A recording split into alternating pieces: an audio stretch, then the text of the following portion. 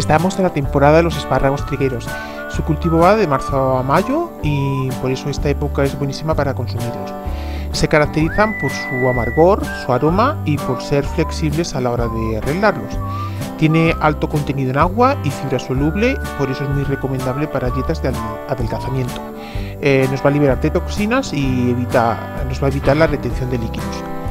Eh, he comprado cuatro manojos que están a muy buen precio y los voy a arreglar unos para revuelto y otros para la plancha. Eh, como veis se tronchan muy fácilmente, tan solo con doblarlos un poco, eh, enseguida se cortan y, nos queda la parte superior y más tierna.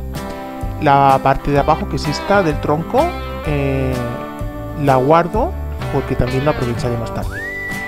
Como os he dicho, lo voy a hacer en revuelto y para ello pues lo corto a trocitos pequeños desde las puntas hasta la parte en la que se ha tronchado. Eh, deciros que consumir los espárragos pues, nos aporta muchas vitaminas, pues A, C, E, B1, B2, B6 y también nos aporta minerales como potasio, calcio, magnesio y fósforo. El tronquito este que os he dicho que hemos desechado al principio al cortarlos yo los aprovecho eh, pelándolos como si fuera una patata a todo alrededor. Y, y en la parte central que queda un tronquito blanco pues es lo que arreglo igual que en la parte superior.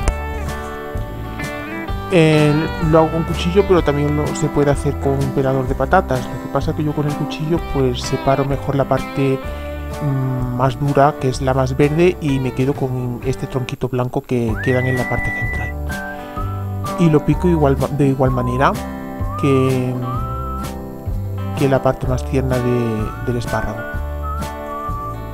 La mayoría lo suele, lo suele desechar porque dicen que es la parte más dura, pero de esta forma yo los aprovecho muy bien y a la hora de cocinarlos quedan igual de tiernos.